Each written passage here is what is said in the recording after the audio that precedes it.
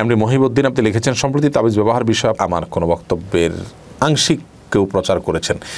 দেখুন, আমরা পরিষ্কারভাবে সবসময় বলে বলি যে তাবিজ, এটি নবী করিম সাল্লাহ সাল্লাম কখনো ব্যবহার করেননি, কাউকে দেননি, ব্যবহারের নির্দেশ দেননি। অতএব তাবিজের ব্যবহার সুন্নার খেলাফ, এটির ব্যাপারে কোনো সন্দেহ করার সুযোগ নেই। নবী করিম সাল্লাহ আসলামের সুন্নার খেলাফ। তিনি কখনো তাবিজ দেননি, দিতে বলেননি। তিনি কোরআনে করিমকে আল্লাহ তালা যে শেফা হিসাবে আমাদের জন্য পাঠিয়েছেন, সেই শেফাটা শারীরিকভাবেও শেফা হতে পারে, আরোগ্য লাভের মাধ্যম হতে পারে। সেই জায়গা থেকে তিনি শেফা হিসাবে নিয়েছেন এবং সাহাবিরা শেফা হিসাবে নিয়েছেন। সেটা সচরাচর যে আমলটা তিনি করেছেন, সাহাবিরা করেছেন এবং তার থেকে স্পষ্টভাবে প্রমাণিত সাহাবি থেকে প্রমাণিত মনুসম্ময় দ্বারা প্রমাণিত, এই সবগুলো ছিল ঝাড়ফুঁক জাতীয়, অর্থাৎ কোরআন কারিমের আয়াত তেলাওয়াত করে ফু দেওয়া ইত্যাদি। লিখে ঝুলিয়ে রাখা, এটি নবী করিম সাল্লা সাল্লামের আমল ছিল না। এটি আমরা পরিষ্কার করে সব সময় সব জায়গায় বলার চেষ্টা করি।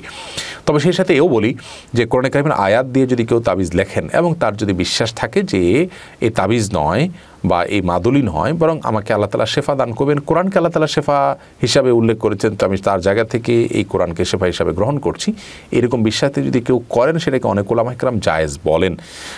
ইবনে তাইমির রহমাল্লাহ এটাকে জায়েজ বলেছেন। আর অনেক ইমামগণ এটাকে জায়েজ বলেন। এ সমস্ত ইমামগণ কোন হাদিসের আলোকে মানে আল্লাহ তামিমা তানফাকাদ আশাকা যে ব্যক্তি তামিমা ঝোলালো, সে শিরিক করল। এই হাদিসের ব্যাখ্যা, বিশ্লেষণ, এটার মর্ম তারা যেটি উপস্থাপন করেছেন, সেটা আলোকে তারা জায়েজ বলেন। অনেক ওলামাইকরাম সাধারণভাবে সব ধরনের তাবিজ ব্যবহারকে নাজায়েজ বলেন তামিমা বলতে আজকে আমরা যে তাবিজ ব্যবহার করছি, এগুলোতে কোরআন হাদিসের আয়াত লেখা থাকে সেটা কি তামিমা বলে নাকি তামিমা বলতে ভিন্ন কিছু বোঝায়, এটা নিয়ে অনেক বিতর্ক আছে। তো এ বিষয়ে আমরা অনেক কথা বলি, সাধারণত বললে পুরো বিষয়টা খোলাসা করার চেষ্টা করি। আমাদের বক্তব্যের আংশিক কেউ যদি কেটে প্রচার করেন, তাহলে সেক্ষেত্রে ভুল ধারণার তৈরি হয়। আল্লাহ তালা আমাদেরকে মাফ করুন, এ ধরনের কাজ থেকে অনেক সময় কাটপিস করে জোড়াতায় লাগায়, মানুষ ভিডিও করে।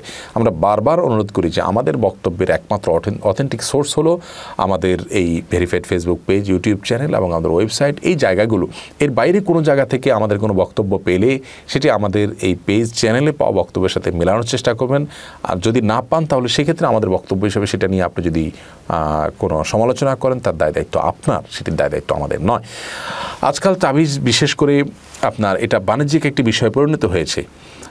এটিকে জায়েজ বলার কোনো কারণ নেই এবং তাবিজের বেশিরভাগই দেখা যায় বিভিন্ন সাংকেতিক চিহ্ন এবং বিভিন্ন আপনার আবজাদি অক্ষর যেগুলো আছে বা বর্ণ যেগুলো আছে সে সে অঙ্কগুলো বসিয়ে তাবিজ লেখা, এগুলো সবগুলো সম্পর্কে আগে আমরা বারবার বলেছি যে আরবি প্রত্যেকটা অক্ষরের বর্ণের এক একটা মান নির্ধারণ করে আবজাদি পদ্ধতিতে সেটাকে বিভিন্ন এক, দুই, তিন সংখ্যা লিখে আপনার সেখান থেকে আপনার এই এই পদ্ধতি থেকে কোনো কিছু অর্জনের যে প্রচেষ্টা, এটি জায়েজ নয়।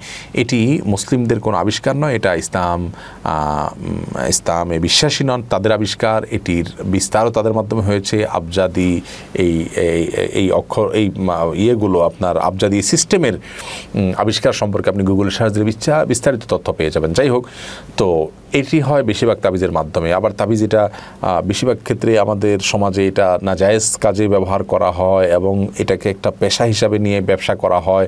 এরকম আরও অনেক কারণে এটার ভালোর চাইতে মন্দের দিক বেশি, অর্থাৎ শুধু কোরআন আয়াতের ব্যবহারের চাইতে অন্যগুলো বেশি। যার কারণে এটার ব্যাপারে নিরুৎসাহিত করা উচিত। আমাদেরকে সম্মত চিকিৎসা ছাড়পুকে আমাদের যাওয়া উচিত। যদিও আমি বলেছি যে তাবিজের ব্যবহার সম্পর্কে দুটি মতল আমাদের আছে। অনেকে জায়েজ বলেছেন, অনেকে না জায়েজ বলেছেন। যদি কোরআন আয়াত দিয়ে হয় আর এই ফেরাউন কর- কারণ নম, নমরুদ, হামান, তারপরে বিভিন্ন রকমের সাংকেতিক চিহ্ন টিহ্ন এগুলো দিয়ে করা, এগুলো কোলাম ইকরাম জায়েজ বলেনি কেউই। আল্লাহ আমাদেরকে বোঝার তফিক দান করুন।